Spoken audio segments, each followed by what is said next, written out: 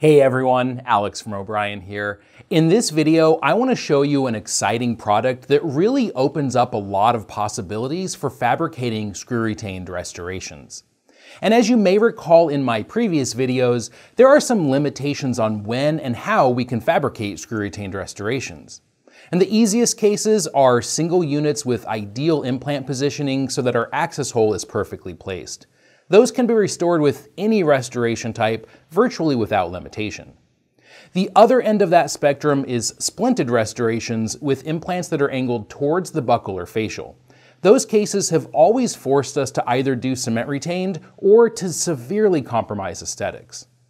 And the reason for this is that there aren't a lot of options for non-engaging abutments which are required for splinted screw retained restorations. And on top of that, even when non-engaging abutments are offered, it's extremely rare for them to also have an option to angle the access hole. And most of the options that are available are just stock bases, so we have no control over the emergence profile or height of the abutment. There is, however, a company that does offer non-engaging custom abutments for all of the major implant systems. And better yet, we can design them with angled screw channels. The company is TruAbutment, and their non-engaging angled screw channel custom abutments are a lifesaver for these cases that used to be very limited in restorative options. And we really like these custom abutments better than using a stock base because we have much better control over the subgingival contours of the abutment, we can build the abutment up to be more substantial than a titanium base, and we can typically make the abutments much taller than what we would get with a titanium base. Now, these still won't work in every situation.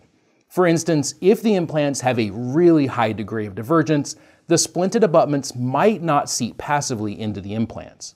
In those situations, we still need to make custom abutments that are designed to be parallel to each other and seated to the implant separately for use with a cement retained bridge.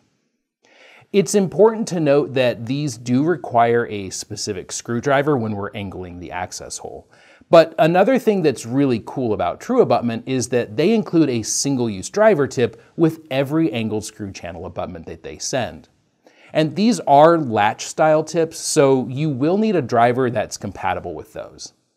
I hope you found this video helpful, and as always, feel free to contact us with any questions. See you next time.